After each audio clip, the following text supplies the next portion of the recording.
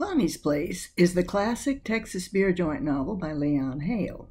It's so well known that our challenge for this series was to find a backstory that hadn't been told too many times before. Many of us know the saga of how Bonney's Place has missed being made into a movie, a long saga. Others of us have heard how one tavern Hale used as an inspiration now resides at the bottom of Lake Conroe.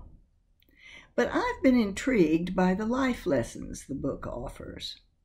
As the book's description puts it, Bonney's Place immerses the reader in the richly layered world of a rural tavern in East Texas with its vivid assemblage of Texas characters. When Johnny Lancaster comes in, he is looking for a thief who stole a considerable sum of money from his ancient father. What he discovers is a far more complex reality than he expected. I asked Leon Hale how his story came about. One does not expect a morality theme at the heart of a novel about Texas beer joints. He told me he was married then into a religious family who disapproved of alcohol, and he received a certain amount of criticism for spending so much time in beer joints compared to the time he spent in church. But beer joints were central to his work. It's where he made a lot of contacts and friends over the long haul.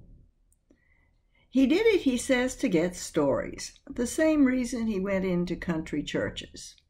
Bonney's Place came out of the realization that the people he met in rural taverns seemed just as good, selfless, and kind as those he met in church, sometimes better.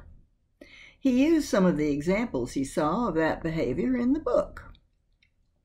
One important scene shows Bonney, the tavern owner, feeding stew, beef stew, to the community, black and white, around 200 people.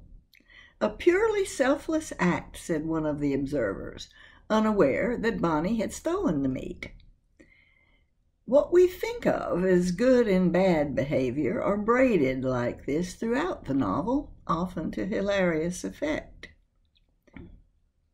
Bonney's Place depicts a world of obvious weaknesses, enduring strengths, and the many small exaltations of life as it was 50 years ago. It's important to keep that fact in mind 50 years ago because there is nothing politically correct by today's standards in Bonney's place. Instead, we are invited into the world that was, warts and virtues alike, and very accurately rendered by the author.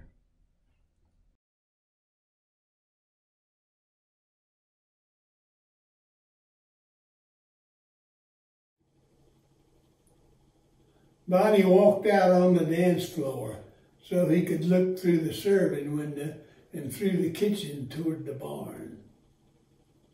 When he turned back to me, his face was dark again. We had a thing going, that old fella and me.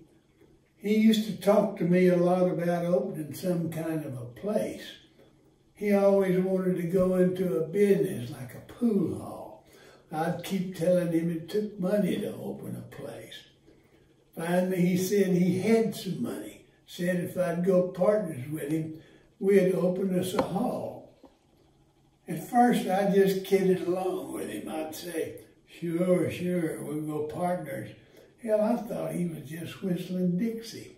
Then one day, by damn, he walked into that Mexican woman's place and called me to the back and tossed a package on one of the tables and kiss your tail if it wasn't $15,000 cash. I told him to go put it back where it came from before one of those winos knocked him in the head and took it off him. But no, hell no. He kept saying, take it, take it. Open a place, we'll go partners. Finally, he just walked away left me standing there looking at that money on the table. I bundled it up and took it home with me to the hotel where I was staying. Man, I didn't sleep all night, lying there with that wad of money in my pillowcase, poking into the back of my neck. I don't know, Johnny, if you ever wanted 15,000 bucks as bad as I did that night. All my life I've been daydreaming about just one good payday like that so I could get the hell away from towns, buy me a little piece of ground, get a few cows where there's trees and creeks. So finally, before sunup, I just took off, put that money in my suitcase, and cut out. And I never did go back.